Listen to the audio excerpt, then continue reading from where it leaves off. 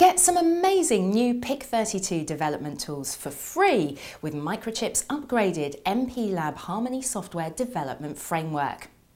The new tools in Harmony 2.0 will help you to create smaller and more efficient code for your PIC32 designs faster than ever before.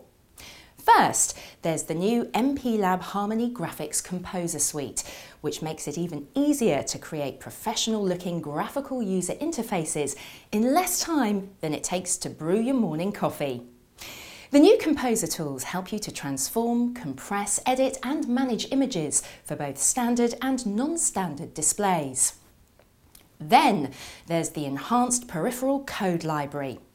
In addition to MISRA C 2012 compliance, these drivers are smaller than ever, lowering the design cost without sacrificing performance.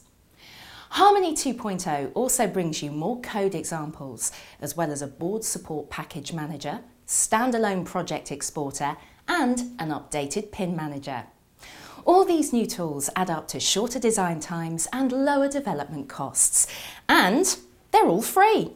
So download your free Harmony 2 from the website now.